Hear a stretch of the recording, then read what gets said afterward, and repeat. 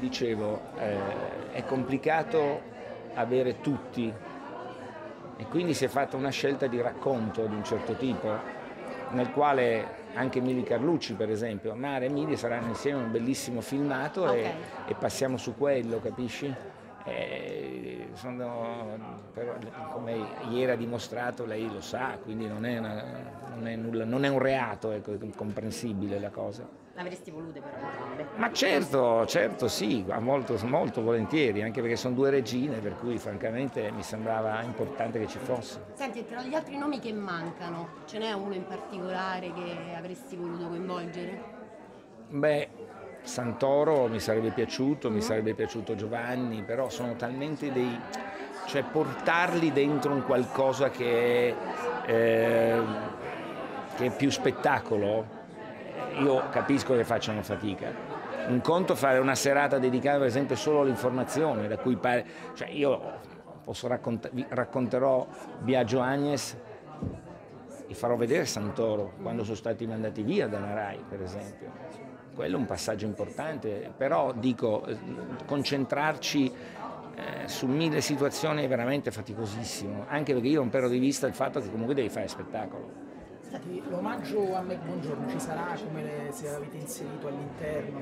Mike Buongiorno viene, ci fa, faremo vedere il famoso balletto dei quattro, una delle leggende de, delle cineteche, no? questo balletto con Tortora, eh, Pippo che era appena arrivato nel gota della televisione, Mike e, e Corrado e lì racconteremo attraverso Pippo la, la, la, qualità fantastica di Mike, anzi tributerò a Mike un ulteriore passaggio perché nei 50 anni della RAI che conduceva Pippo eh, fece, una, fece, una, grande canzone fatta e scritta per Mike e lui ebbe un momento di commozione, quindi lo faremo rivedere, quindi ovvio.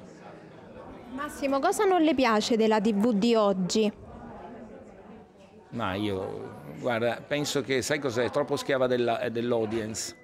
Il limite più grande è quello, bisogna avere il coraggio di non essere schiavi dell'audience, di non creare sempre solo pubblico materasso a cui va bene qualsiasi cosa, deve rischiare di più.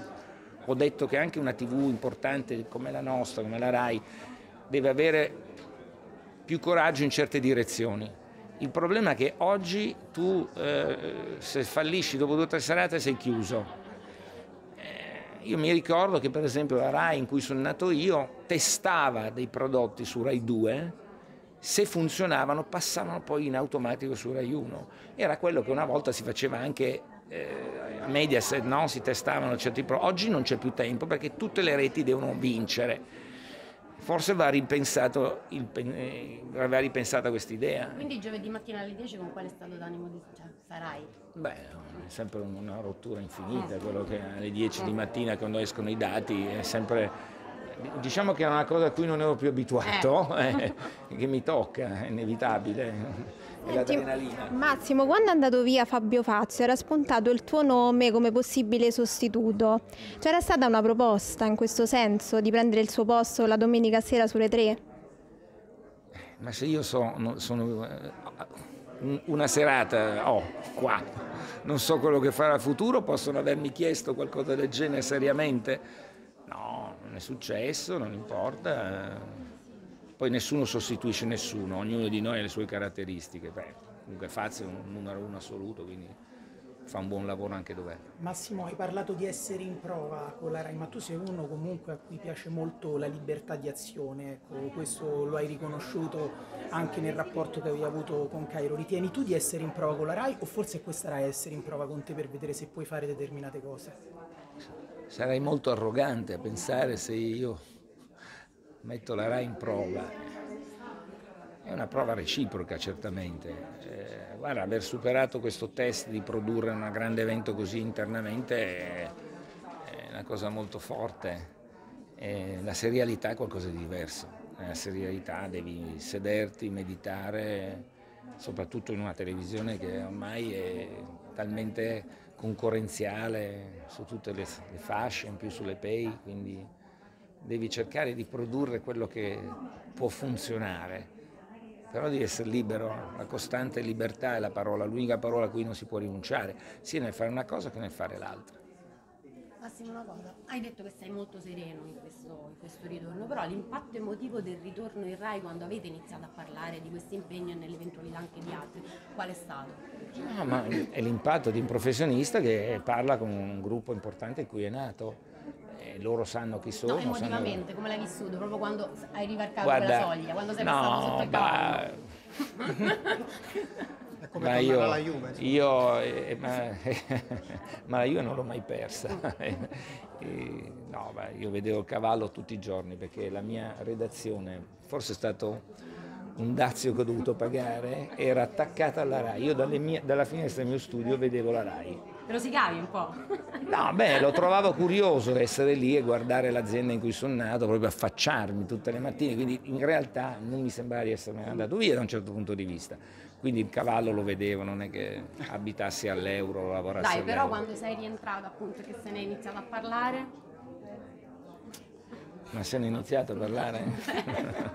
insomma, sì, dai, è ovvio, ovvio, come, come quando me ne andai, eh, i, i sentimenti erano diversi, quando rientri hai la speranza di trovare di nuovo un approdo, eh, quel senso di sicurezza, di piacere, di ritrovare anche il giardino uguale, eh, la banca sempre là.